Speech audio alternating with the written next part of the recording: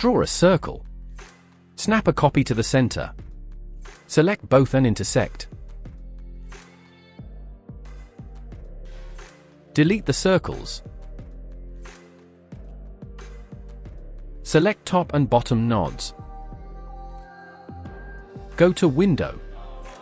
Dockers. Corners.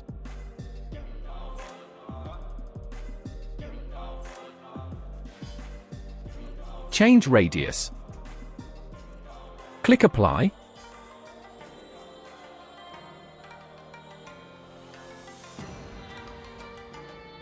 Select Contour tool.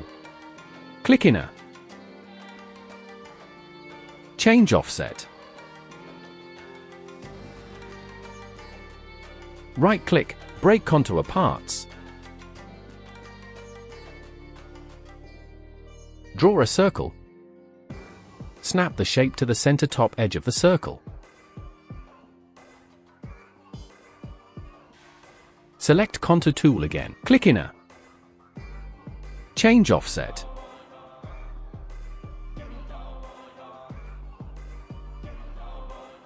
Select Smart Fill tool. Fill shapes as you see. Select all new shapes and weld together.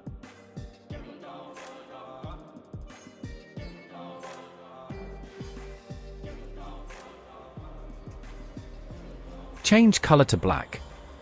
Click twice and move rotation pin to circle center. Press plus to duplicate, hold Ctrl and rotate. Now press Ctrl plus D to duplicate. Select three-point curve tool.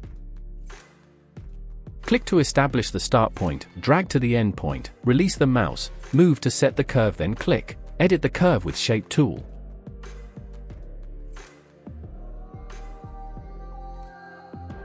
Click twice and move rotation pin to circle center. Press plus to duplicate, hold Ctrl and rotate. Now press Ctrl plus D to duplicate. Delete the circles. Select Smart Fill tool. Click in the middle. Change color as needed.